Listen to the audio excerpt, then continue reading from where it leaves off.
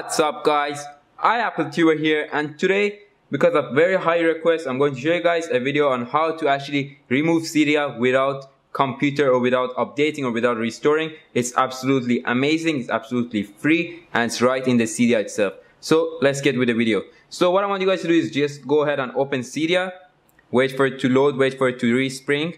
Now you can see right now it's done. When you go to sources, let's just refresh it once. Let's just wait for this one to refresh and finish up refreshing. Let's just wait for that. So as you can see, it's going to reload the data. Let's just wait. So as, as you can see, it's done. Go to the search and search for Cydia Eraser. So the name of the tweak is Cydia Eraser. As you can see right now, it pops on my device here.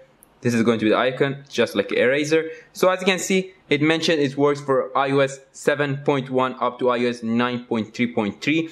So you might be wondering what's why use this application. So with this application, you don't even need to update to remove Cydia.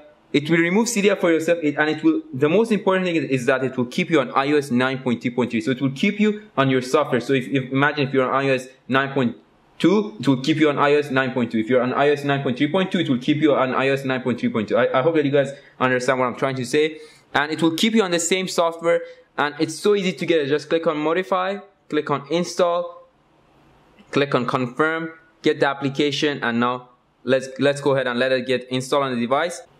Okay, so as you can see, it doesn't need even to the device. Just return to Cydia, click on return to Cydia, get back to your home application or your home screen and as you can see right now on the last page Cydia Eraser is there you click to open it now it will welcome you to the Cydia Eraser and it will tell you here the option where erase all data on jailbreak device so it remove all data and remember it will not keep any data so you need to have a backup or you have to have an iCloud backup if you have then you get all your data back so if you have a computer by any chance you can actually get the backup on your computer and then do this process if you don't have a computer and if you have iCloud backup, then you can use your iCloud backup to get all your data back. So it will restore your device, it will get it to fresh iOS stock, factory stock, and it will also remove your jailbreak or your Cydia for free without any issues. So I'm not going to do this, but you can get my hand, my point that you click on it, will go ahead and restore your device and it will remove Cydia. So that was it with today's video. I hope that you guys have enjoyed this video. Don't forget to like, subscribe and share this video. iAppleTuber here. See you guys very soon. Signing off.